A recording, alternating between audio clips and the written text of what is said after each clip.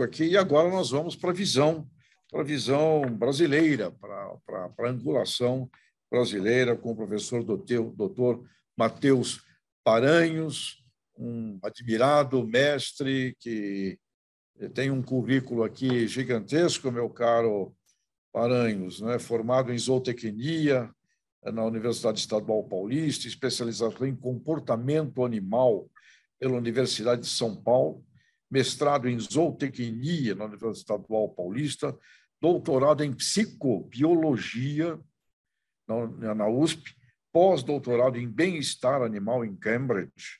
Atualmente é professora adjunto no Departamento de Zootecnia da Faculdade de Ciências Agrárias e Veterinárias na Unesp, lá em Jaboticabal, onde o encontrei outro dia, e outros atributos, caro doutor Paranho, como sendo elegante, charmoso, lindo, né? como o senhor também me pediu que acrescentasse aqui no seu currículo. Muito bem-vindo, professor doutor Matheus Paranho, por favor, a palavra é sua.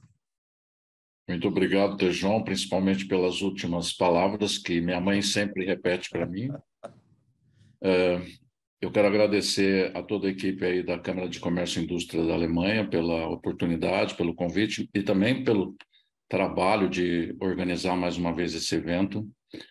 Quero a, agradecer a, a, a todas as pessoas aqui da minha equipe. A palestra de hoje tem um enfoque um pouco diferente da palestra anterior é, as novas tendências do bem-estar animal dos animais de produção aqui é, é, no Brasil segue um caminho um pouco diferente do que acontece na Alemanha e toda a União Europeia. Ah, as, os avanços na nossa legislação ainda são acanhados, embora existam, e estão crescendo é, em termos é, de número e abrangência nos últimos anos. Mas a gente aqui, nosso trabalho está mais focado no, na promoção do bem-estar animal diretamente na ponta, com programas de divulgação e capacitação dos produtores das principais cadeias produtivas da produção agropecuária, que eu vou reportar aqui os bovinos de corte, bovinos leiteiros, os suínos e as aves, tanto de postura quanto os frangos de corte. O meu trabalho pessoal e da equipe com quem é, que eu coordeno está mais focado nos governos, por isso a apresentação vai ter um pouco mais de ênfase nessas cadeias produtivas que são as que nós trabalhamos mais é, frequentemente. Eu gostaria de saber se vocês estão vendo a minha apresentação. Estamos. Ok. Então vamos lá. Bom, um ponto fundamental que eu acho interessante compartilhar com todos vocês é que a disseminação dos princípios de bem-estar animal, há muito tempo atrás, nós adotamos essa estratégia de abordagem positiva, que está fundamentada no conhecimento científico, mas ao invés de uh, apresentar críticas, nós usamos bons exemplos como uma estratégia de promover essas mudanças, né? Para fazer isso, nós abordamos as, aí, as associações positivas entre o bem-estar animal e o bem-estar humano, a questão do bem-estar animal com a saúde dos animais, com a produção e também com a eficiência do trabalho e sustentabilidade. É, essa estratégia tem se mostrado bastante eficiente. Nós é, encontramos as equipes que estão é, responsáveis pela criação, manejo e o abate dos animais também é, abertas a, a ouvir e a implementar esses princípios de bem-estar animal, é, e, e, por isso eu estou aqui divulgando essa estratégia como uma ferramenta muito boa para promover mudanças no, no bom caminho. Há mais de 20 anos nós temos trabalhado com essas iniciativas para melhorar o bem-estar dos animais de produção. E eu poderia aqui fazer um breve histórico, não vou me atentar a isso, eu vou focar nos recentes avanços, mas nós temos vários exemplos com bovinos de corte na melhoria do manejo pré-abate, que, que com certeza reduz o sofrimento dos animais, mas também reduz perdas com a porcentagem de carcaças com hematomas, né? Produtos de um mau manejo. Então, melhorando o manejo, eu melhoro o bem-estar animal, mas melhoro também o negócio do, dos produtores. Nós também desenvolvemos um trabalho para melhorar o manejo na aplicação de produtos injetáveis, o que implica em redução de dor e reação nos locais de aplicação da injeção, e também na redução de acidentes de trabalho. E melhoramos também, aqui alguns exemplos apenas, né, a, a, a, o processo de desmama dos bezerros, que reduz o estresse, melhora a saúde dos animais e também o seu desempenho. Enfim, é um, são ações do tipo ganha-ganha, traz benefícios para todos, para os animais, para as pessoas, para a cadeia produtiva como um todo, e também, em alguns casos, até para o próprio ambiente. Ah, as novas iniciativas hoje, que estão aí focadas em um programa de extensão rural, é, tem como um elemento chave uma ideia até que foi inicialmente levantada pela Carmen Pérez, que vai dar palestra em seguida, de criar uma nova marca para a pecuária brasileira, uma marca que leve em conta o respeito pelos animais, pelas pessoas, o cuidado com os recursos naturais, enfim, a manutenção de ecossistemas equilibrados. Nesse, com essa perspectiva, a gente hoje tem vários projetos. Esse projeto Cada Bezerro Importa, confinar bem, manejar bem e redução da marca fogo. Eles têm como um elemento central o respeito pelos animais, o cuidado para minimizar práticas dolorosas, mas fundamentalmente também o reconhecimento de cada ser como indivíduo. Né? Normalmente a produção animal trata é, os animais como rebanhos, lotes, é, e nós aqui levamos essa mensagem de que a, as avaliações devem ter um caráter individual. Afinal de contas, quem sofre ou quem tem problemas de bem-estar são os indivíduos, alguns mais, outros menos, né? então nós temos que estar prestando atenção nisso. E um projeto que é mais abrangente, esse Fazenda Nota 10, é um projeto que integra várias ações e a questão ou as questões da saúde e bem-estar animal estão envolvidas aí também, promovendo, hoje tem mais de 400 fazendas participantes desse projeto, promovendo os princípios de bem-estar animal, fazendo um monitoramento dos avanços que as propriedades que integram o projeto têm, oferecendo recomendações, orientações de como superar os desafios e resolver os problemas, e também, obviamente, é, felicitando, parabenizando aqueles que estão fazendo bem e valorizando isso, valorizando o bom trabalho em relação à promoção do bem-estar animal. O, o projeto Cada Bezerro Importa, trago aqui um exemplo, né, de um trabalho realizado em seis fazendas do estado do Mato Grosso, Bahia e São Paulo, de 2016 a 2021. Essa, então, envolveu aí seis fazendas, 46 vaqueiros é, foram treinados. Essas fazendas, no total, é, tinham aproximadamente 23 mil vacas gestantes, com o nascimento de mais de 20 mil bezerros por ano. É, o projeto resultou numa redução expressiva de 30% de mortes de bezerros. Isso implica em mais de 700 bezerros desmamados por ano. Lembrando, como foi divulgado no Farm News, é, que a produção de, mundial de bezerros é, se espera um recorde aí para esse ano de 2022 e o maior crescimento vem exatamente aqui do Brasil, com mais de 53 milhões de cabeças de bezerros nascidos. O outro projeto, Redução da Marca Fogo, é uma realização que tem a iniciativa de duas universidades, a Unesp e a Universidade Federal do Mato Grosso, nosso grupo de pesquisa, o Grupo Ético, e empresas a Bianimal e a Agropecuária Orvalho das Flores, além do apoio das empresas JBS, MFD, MSD e Alflex. Esse projeto, ele conta, contou com a participação de cinco fazendas, é, com uh, eu, eu, acrescentei aqui a agropecuária Orvalho das Flores. A agropecuária Orvalho das Flores iniciou essa atividade muito antes da implementação desse projeto. Ela serviu de inspiração e também de base para fundamentar a proposta. Né? Todos os resultados obtidos lá foram importantes para fundamentar essa proposta de redução da marca fogo.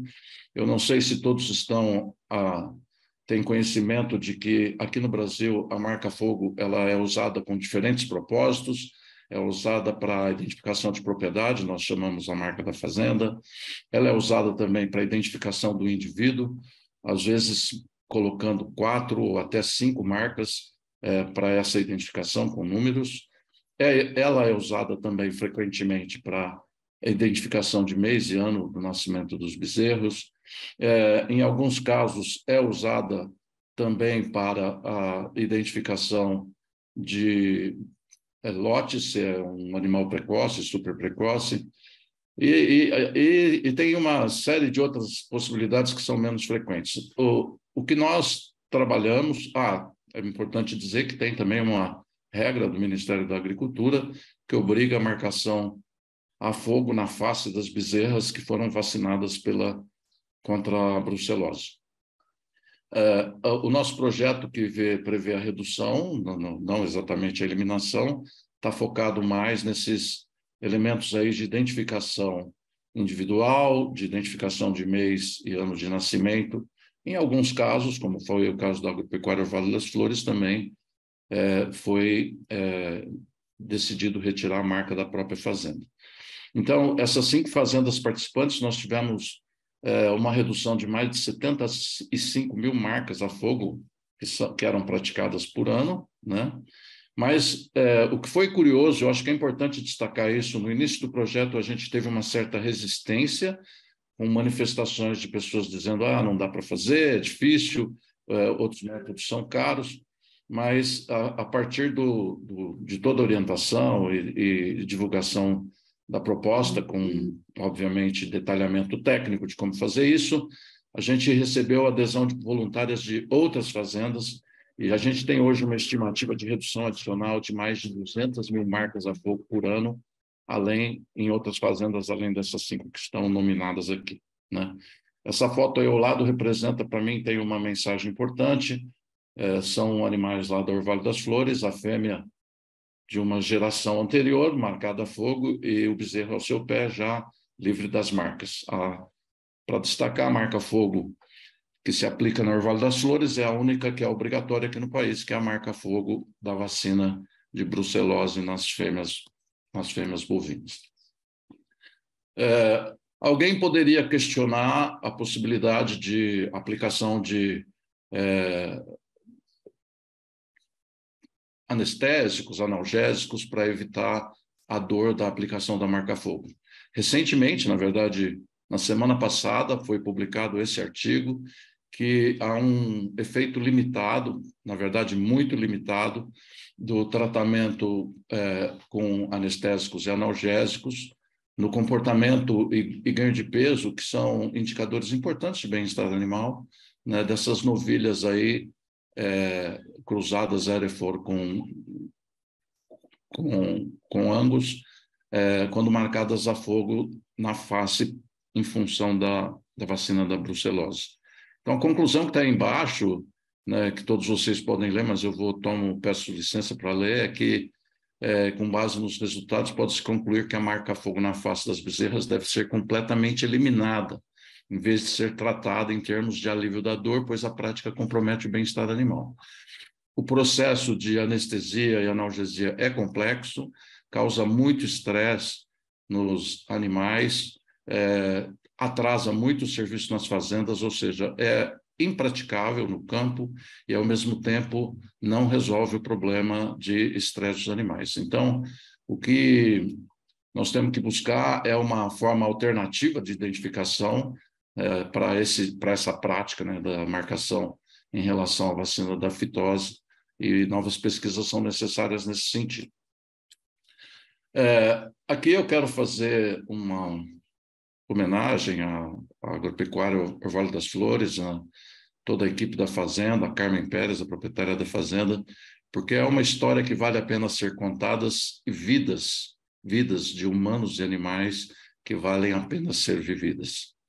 Né, graças ao, à determinação e ao compromisso não só da Carmen, mas toda a equipe da Fazenda em adotar as boas práticas de bem-estar animal na rotina de trabalho lá, é, cenas como essa que são representadas nessa foto são possíveis de serem é, divulgadas e mostrando que é possível que as mudanças trazem valor, valor em termos de qualidade de vida para todos, valor em termos da imagem que a cadeia produtiva pode ganhar, ganhos em imagem, né? ganhos isso pode criar novas oportunidades de mercado também. Ah, cabe salientar que na agropecuária Vale das Flores, todos os projetos que eu me referi agora, com exceção do Confinar Bem, que ela não confina animais nessa propriedade, estão, é, são implementados. Então, a rotina de manejo lá adota as boas práticas de bem-estar animal em todos os seus processos. Também temos é, exemplos interessantes com gado leiteiro. Né? A gente focou é, principalmente nos últimos anos na melhoria do manejo dos bezerros leiteiros, que são, como na maioria é, das produções leiteiras em todo o mundo, separados de suas mães logo depois do nascimento. Então, a gente buscou melhorar as, as interações entre humanos e animais, promovendo mais interações positivas e, obviamente, mais cuidado e atenção, o que resultou em uma redução nas taxas de mortalidade e morbidade. Também um outro processo importante, que é a ordenha, né? Uh, animais que são submetidos à primeira ordenha normalmente são muito reativos, estão incomodados, estressados, então todo o processo de antecipar esse treinar os animais, né, para essa para essa atividade de ser ordenhado é, resultou em redução de risco de acidente de trabalho, maior facilidade de resultado de realizar o manejo e, obviamente, também menos estresse para os animais durante essa fase que é tudo novo para elas, certo? A gente tem uma série de trabalhos publicados em relação a isso, tanto a, em relação à questão do bem-estar dos bovinos leiteiros em geral, um, mas um ponto importante que eu quero destacar aqui é que o, o foco do nosso trabalho, da nossa pesquisa, sempre é a possibilidade de sua aplicação prática no campo. Então, a gente integra essa pesquisa com atividades de extensão, levando esse conhecimento através de cursos, através de capacitação de equipes dentro da própria fazenda, através de mensagens que são divulgadas de diferentes mídias, mídias sociais e não sociais, tentando divulgar de uma forma mais ampla possível o conceito do bem-estar animal e as boas práticas de bem-estar animal que podem ser adotadas facilmente nas unidades de produção, é, sem um custo adicional. Aqui é um, simplesmente o trabalho que nós temos feito, ele envolve principalmente alterações na forma com que é realizado o manejo. Né?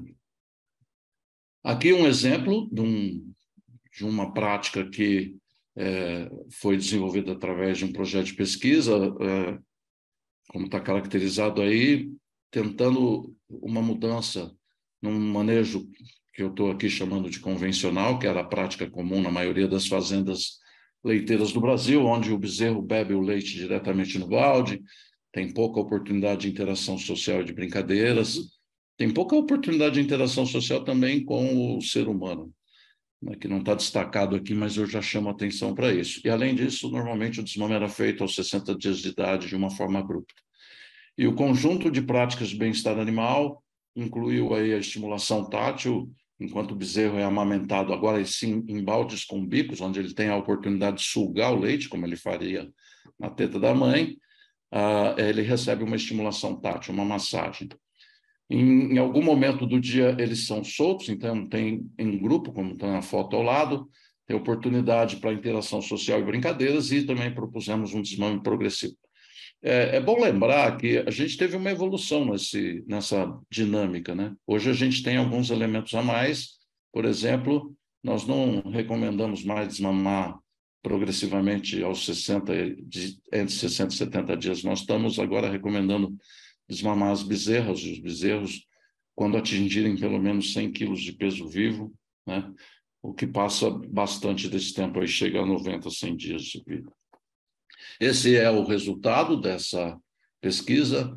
Aqui vocês estão vendo a média do número de mortes por mês. Então, esse estudo foi feito um levantamento antes da adoção das boas práticas, dois anos antes.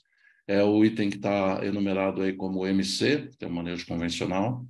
Houve um período de transição onde a equipe estava sendo treinada e monitorada por um, um dos estudantes aqui da Unesp, que esteve presente na fazenda durante aproximadamente quatro meses, é o período de transição, o T aí do gráfico, e depois durante um ano todo de a, quando a adoção das boas práticas de bem-estar animal já estavam implementadas, é o MR aí no gráfico. Vocês estão vendo uma, uma expressiva redução no número de mortes por mês. Eu estou falando de uma fazenda que tem uma média de nascimento de 20, 22 bezerros por mês, morriam quase 5, e houve uma redução disso para 1,4, média. Né? É bastante expressivo, né, como está caracterizado no, no, na análise estatística aí, mostrado na tabela abaixo, é, tendo como referência a, o, o, manejo convencional, né, é, uma redução aí muito expressiva de mais de 50% no número de mortes. Da mesma forma, a gente teve uma redução também bastante expressiva no número médio de tratamentos com antibiótico por mês, né? praticamente pela metade caiu esse número de tratamentos. Isso significa que os animais ficaram menos doentes, a taxa de morbidade foi muito menor. Simplesmente com a adoção das boas práticas de bem-estar animal durante essa fase de cria das bezerras leiteiras. É, as cadeias produtivas da suinocultura e da avicultura de postura é, têm avanços também importantes.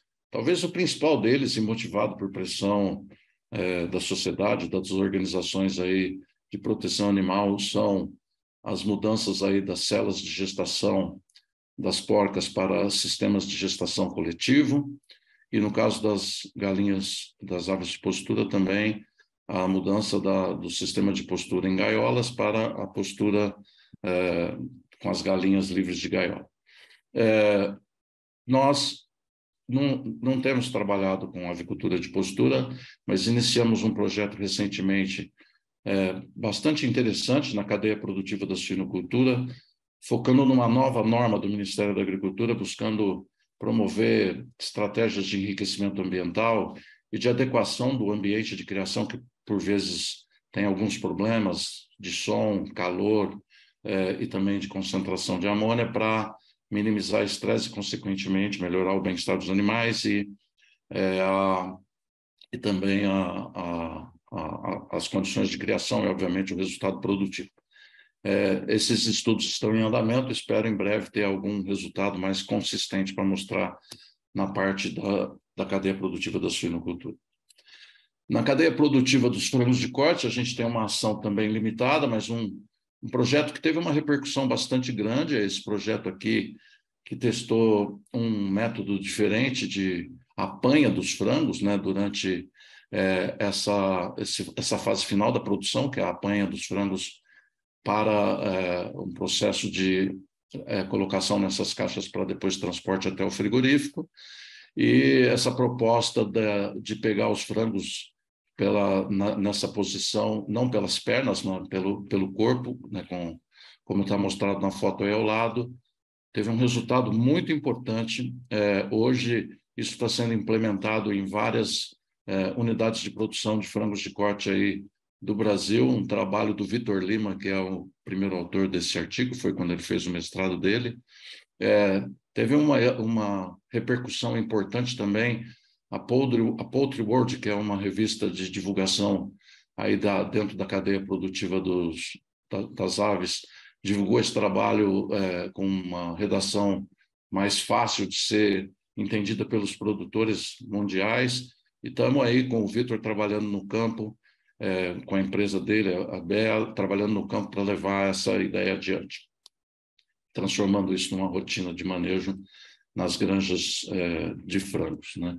Enfim, nosso trabalho tem esse propósito central aí do reconhecimento dos animais como seres, seres sencientes.